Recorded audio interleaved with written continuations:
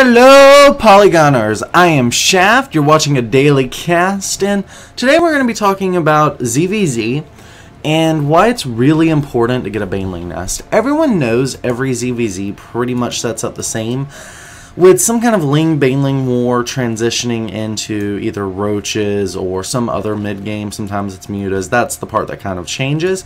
But the initial stages are usually pretty standard. There are some times, though, where you'll see players try to skip a Baneling nest. We're actually going to see that in this match, and we're going to look at why some players might would choose to do that, but some of the downsides to that as well. Because here on the bottom right hand side of Odyssey Ladder Edition, and the Red Zerg Trunks, he's none other than Jared Pig Krensel. And here on the top left hand side of that map, it's none other than Jamie Jim Rising Silencio. Alright, so got the instructions out of the way. We've got some Ling harassment going along here. Fast 3 base out of Pig. And he is getting a Baneling Nest follow-up. Both players getting the Metabolic Boost a little bit faster out of Jim Rising. Looks like Pig uh, scouting the third. Uh, this drone right here was... Uh, either thinking about taking this or going up here to the gold being a little greedy. We got a little bit of a contestment here between the Lings zoning that uh, that drone right on away, but another one has been sent right up here. And Pig, not quite aware of it yet. Looks like he is sending the Lings there. Queen going to be sniping this Overlord. A little bit of uh, Ling defense here on this side. Will have a little bit of a faster Ling speed here for Jim Rising, so he can swing to this defense, but he doesn't know what's happening just yet. No Overlord in that position. He will be forced to retreat there if he wants to stop it, but it looks like he is going to be taking his all-out Ling pressure into Pig's natural. We've got some Lings there to defend, but the real important thing here is the Banelings. Both these players very similar army count, very similar drone count as well. But again, Pig's third base has not been scouted, nor is it being harassed at present. Jim Rising looks like he has shut that down with some reinforcements and has been forced back, but coming right on in offensively as well. He's actually swung over here to this third base to pull some of these slower Banelings. Actually gets a good explosion there. Um, meanwhile, some of these units here going to be forced to respond to Pig's own army and at his own third. This is actually some pretty insane micro from these two players. The multitasking, just incredible. Managing to keep that drone alive. He is going to rebuild that. But again, we have more production now from Pig. With a lot more larvae, he's going to be able to flood out more lings, more workers, whatever he chooses to make. Right now, Jim Rising about 14, now 16 army supply in the lead, but we've got a 5 worker lead for Pig. Woo! That's a lot of talking really quick. And these Lings going to get cleaned up here, or at least pushed back by Jim Rising's defense. Very important that he pulls back some of these and is actually going to regroup. Doesn't want to get pulled into any kind of Banelings. Ling's going to be swinging in here for Pig as well. He's keeping these Lings very offensive. Baneling's going to be rolling in here as well. Does manage to get up the ramp, and with a faster Roach Warren, Jim Rising was trying to save the gas from uh, not making Banelings to get Roaches out faster and hitting mid-game, a little bit of a quicker mid-game Roach timing. These Lings are going to make that pretty hard, going to be punishing him for that, but the worker count has actually gotten really insane for Pig. He's 13 workers ahead, whereas Jim Rising is 30 army slot behind. Now this is very, very scary for Pig because Jim Rising has the potential to kill him right now. It's all going to come down to Ling Baneling micro.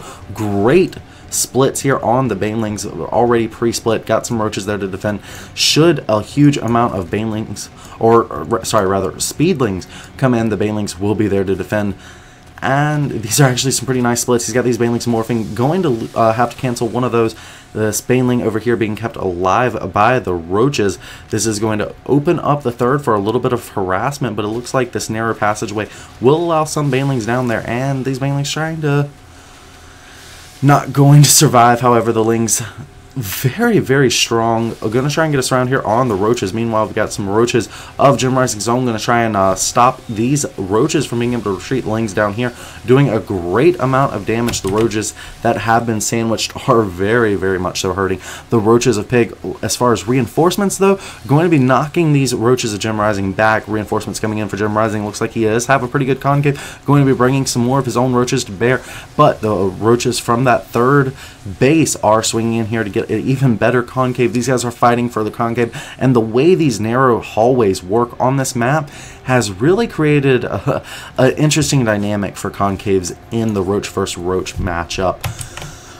Finally, Jim Rising getting this third base set up Pig has been able to drone while making exactly the amount of army he needs with that extra base of production.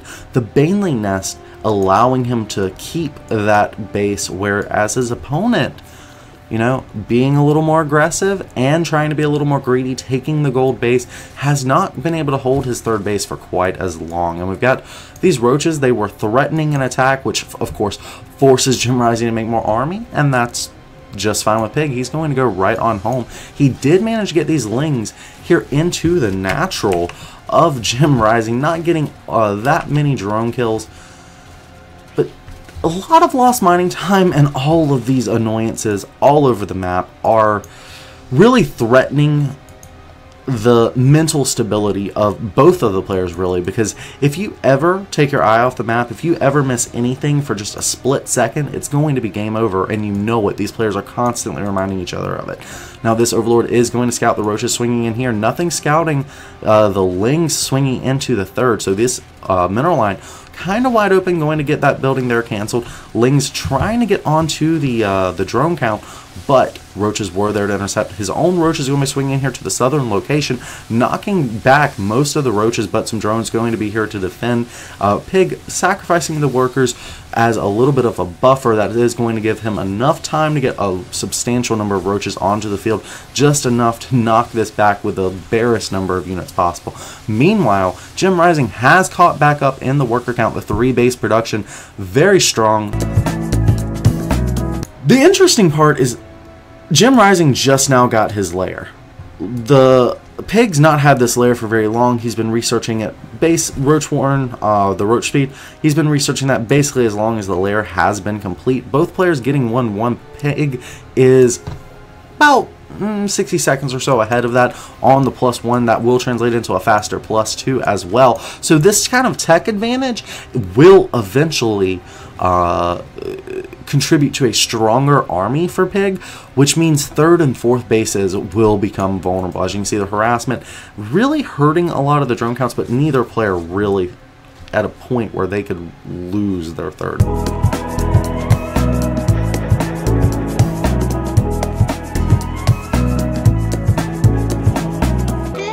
And the Ling swinging in, scouting that lair if they hadn't already.